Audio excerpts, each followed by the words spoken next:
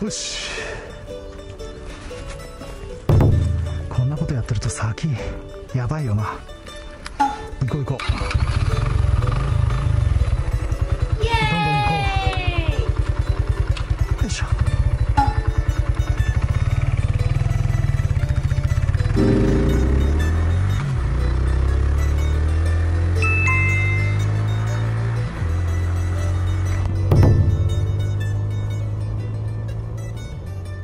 えーお疲れ様です、えーパパ先生だです、えー本日、えー仕事終わってからですね、えツイッターの方を、えーチェックしたんですけれども、えーフォロワーさんの、えーとりあえず S さん。はい。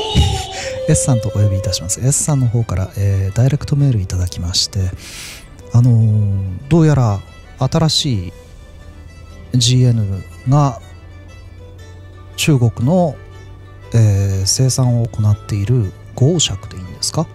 豪爵の方から、えー発表されているということでリンクを送っていただきました、えーありがとうございます、えー個人的にとってもあの興味がありました。というのは、えー GN125 の H が生産中止になりましたので販売が終わりますと、えーいうようなツイートを、えーやはり目にしましてツイッターだったかな？って目にしまして、えーソックスさんでいいんですかね？3とかつけない方がいいのかね？ソックスでの販売が終了するよというのを見て、えーちょっと心配してたんですよね。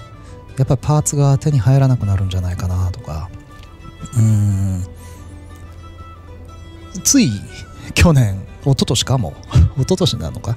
まだ買って1年ちょっと、えーなもんですから僕の GN125 は、えーパーツとかがなくなったら嫌だなと。生産中止になったら嫌だなと、えーいうふうに思って心配をしてました。で、えーあちこち、えー調べてみたところどうやらまあガテマラ。グアテマラとか、えー南米の方ではまだまだ元気に、えー売ってるぞとそれから、えー最近、えーツイートしましたけどあの YouTube の方に2019年モデルがあるよと。2019年モデルが、えー出てますと。しかもあのドルの値段付きで出てたんですね。どこの国の値段なのかちょっとアメリカドルなのかオーストラリアドルなのかはたまたっていうんでちょっとどこの国かわかんないんですけどアメリカかオーストラリアかどっちかじゃないかなと、えーちょっと思ってるんですがまあ確認もしようもない。ということであの S さんとちょっと会話になったんですね。で調べてくださいまして、えーどうやら GN125 の 3F それから、えー GN125 の3というのが出ているぞと。でスズキのブランドとしてではなくて、えー中国の豪爵のブランドの方で発表されてると。で調べてみたんです僕も。というかあの見見に行ったんですホームページをね。そしたらあの確かにあの「ニュー」っていうスタンプがバーンとこう貼った状態で確かに鈴木扱いではなくて豪爵扱いで、えー GN125 の 3F それから GN125 の3っていうのが F がついてないんですね。ただ3っていうのが、えーありました。でまあどうなんだろうと。明らかにこれは鈴木の GN125H とか、えー現在も、えー手に入る125の 2F ですか。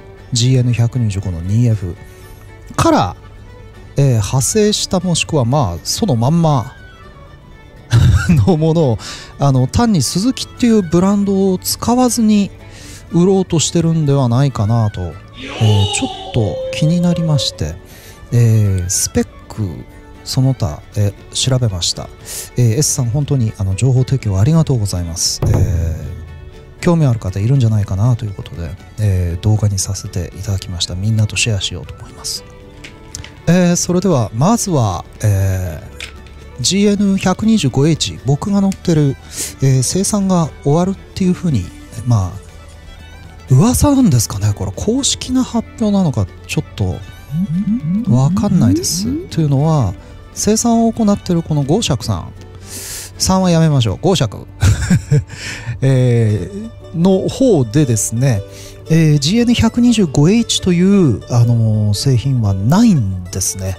ないんです。えー、未だにアイルランド私が住んでるアイルランドの、えー、スズキの公式ホームページには載っております、えー、販売も継続されているようです。ただバイク屋さんによっては消えたかなっていう気もします。ちょっとわかんないです。たまたま売ってないだけなのかどうか。まあ、実際にねお店まで行って聞いてくればいいんですけどすいません。あのそこまではちょっと、えー、時間がなくて すいません。えー、まだ一応公式ページにも載ってるし売ってるよということになってます。でスペックなんですが、えー、もうざーっとまず読んじゃいます。えー、この値は、えーと、鈴木の、えー、アイルランドのページおよび、えー、鈴木ニュージーランドの、え値です。日本のスペックってよくわかんないんですけど H ってわざわざ書いてないんですよね。なので本当に H なのかちょっとわかんなかったので、えー、はっきりと H と書いてあるやつを、えー、読み調べましたで読み上げようと思いますで12馬力って書いてあるところがすごくあのホームページによって多いんですけどこれはひょっとしてユーロ4排ガス規制の前の値なんではないかなとえー、ちょっと思ってます。というのは、えー、馬力の表記がやっぱりちょっと違うんですね。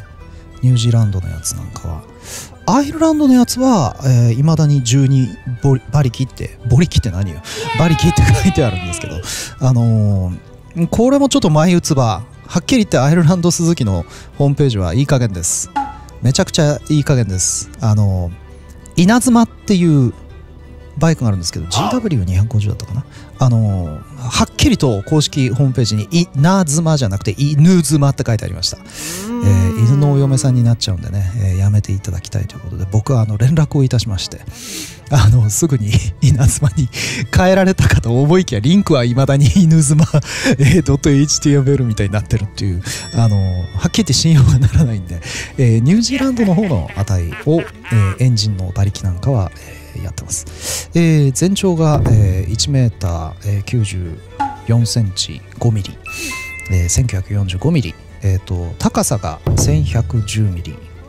全幅幅ですね。815ミリ。でこれあの全幅実はあの他の 2F3F それから3、えー、今回出たやつらも含めて一番大きいです。一番大きいです。ホイールベースが、えー、1280ミリ。2F よりは長くて、えー、3F とか3今回出たやつよりはどうやら 5mm、えー、短いみたいですね。ちょうど中間です。重量は 107kg、えー、他のやつらに比べて一番軽く、えー、なっております、えー、最低地上高が 175mm、えー、こちらは逆に一番高くなってますね、えー、そこをする可能性は、えー、一番低いんではないかと。でシート高、えー、73センチ5ミリ735ミリで、えー、これは 2F と一緒です。ただ 3F と3の方は740ミリというふうに5ミリ高くなってます、えー、見ていただいたら、えー、分かる通りですね。重くなってますね。今度の 3F と3は。9キロ H からだと重くなってて 2F からだと6キロ重くなってます。ホイールベースも長くなってるし幅はまあ中間どこですけどあのな何が違うのかちょっと分かりませんがあの重くなってるようです。で次は燃料タンクの容量ですね、えー、スズキのニュージーランドの値ですけれども、えー、と 125H H の場合には10.3リットル。2F は9リットルの、えー、3F と3はなんとさらに減ってしまって8.5リットルっていう、えー、表示になってますね。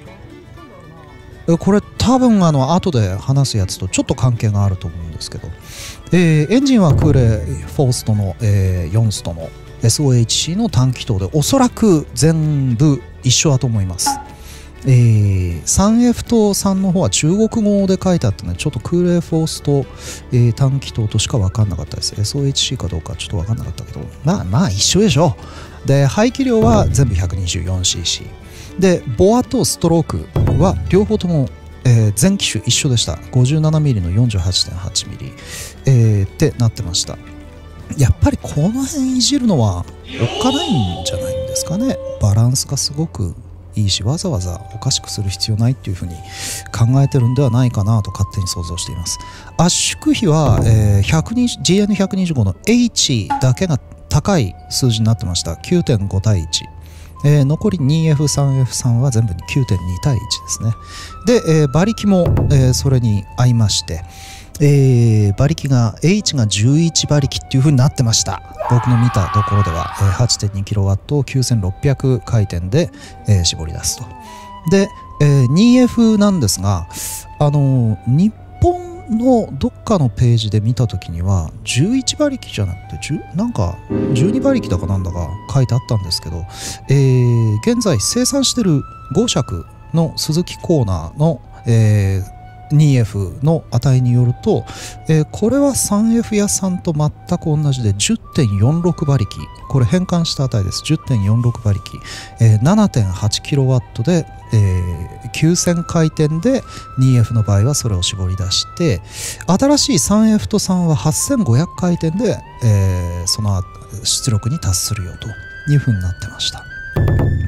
だいぶではないですね。ほとんど変わりないと言ってもいいんじゃないでしょうか。0.5馬力しか、えー違わないです。12馬力ある H って多分もうない。多分ユーロ4の規制に合わせた時点で多分ないんじゃないかなと勝手に思ってます。なんで馬力ではあんまり変わりないんじゃないかな。えートルクはですね、えーこれ変換してるんでちょっとあの汚い数字になっちゃってるんですけど、えー1.02ですね約ねキログラムメートル、えー10ニュートンパーメートルとあパーじゃないな。10ニュートンメートル。を 8600rpm で出すのが H で、えー 2F それから 3F そして3えーこいつらは全部一緒です、えー9.2ニュートンメートルの0.938、えーキログラムメートルと。で、えーこちらは回転数も一緒ですね。7000回転でそれが出るよと。でこれが、えー次のやつが多分なんですけど一番、あのー大きな違いだと思います。燃料の供給方式。えーご存知の通り、えー GN125H と 2F はキャブなんですけどもキャブレターなんですけど 3F と3はスマート EFI フューエルインジェクション。FI だというふうに書いてあります、えーページに。なのでとうとう GN も、えー次からは、えーフュエルインジェクションになるよと FI のバイクになるよとあの姿のくせに。えーすごいですね、えー時代の流れというのを感じますね。感じますね。多分なんですけど燃費情報なかったんですよ。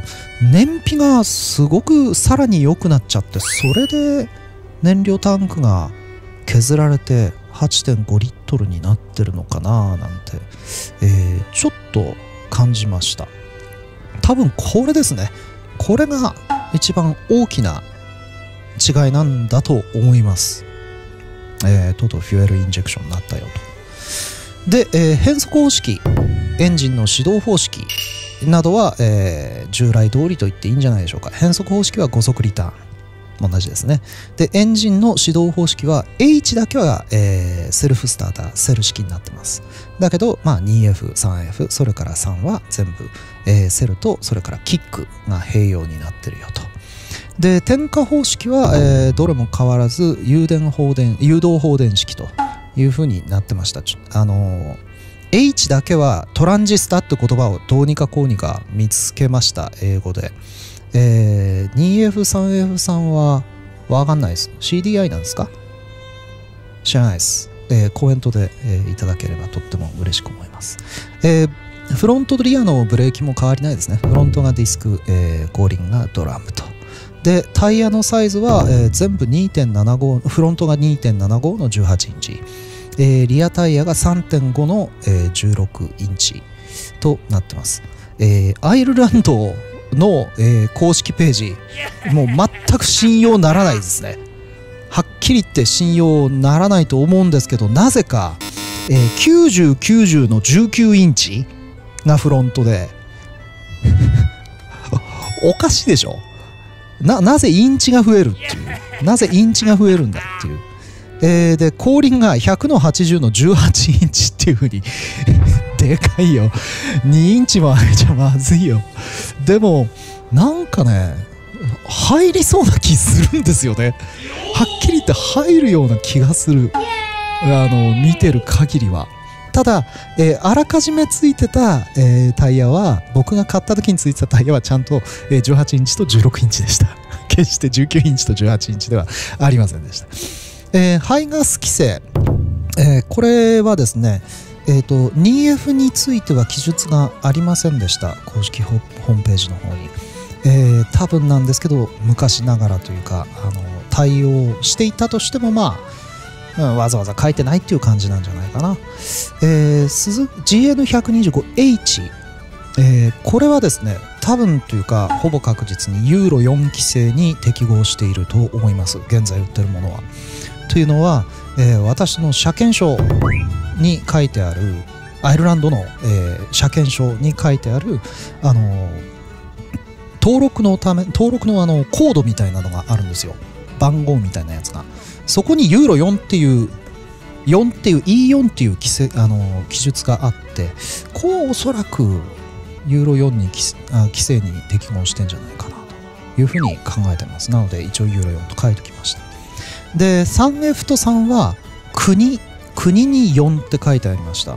これ多分中国のあれですよね。中国の規制ですよね。で確か中国の規制ってユーロ規制と同じのはずですよね。ものすっごい怪しいです。わかんない。僕の能力ではわかんない。でも多分なんですけどこの国4が、えーユーロ4規制相当に当たるんではないかなと、えいうふうに考えています、えーまとめますと新しい、えー GN125 の 3F それからおそらくは H の並びになるんじゃないかっていう GN125 の3、えーこの2つはまず鈴木のバイクとしてじゃなくて5尺のバイクとして出すよと。でちょこっとでかくなってるよと。でちょこっと重くなってるよと。タンクはちょっとちっちゃくなったよと。で馬力はあんまり変わんないよと。燃料の供給方式はフュエルインジェクションになるよと。まこれでかいですね。でギアは一緒だよ。指導方式も一緒だよ。おそらく点火方式も一緒だよ。ブレーキも一緒だよ。タイヤも一緒だよ。ユーロ規制になったよということで、えーそんな感じではないかというふうに、えー思います、えーちょっと長くなっちゃいましたけどねもっとあの要点だけかいつまめばいいんですけど原稿も何も用意せずにいきなり喋って あのいきなり喋って いますのでなもう何も見ないで喋ってるような感じなんでデータだけねこの表だけ僕見てますけどそれだけなんで本当にもうごめんなさい。長々となって申し訳ありませんでした。えーということで、えー S さん本当に情報提供ありがとうございました。僕はあの興味あるんで、えーとても興味深く、えー見ることができました。ありがとうございます、えー願わくば、えーこの情報共有が皆さんの、えー好奇心を満たすのに、えー役立って、えーさらにあのこれからね購入しようと思ってらっしゃる方々とかにはあの役に立つ情報になるといいなというふうにえ 思っております。お疲れ様です。ありがとうございました。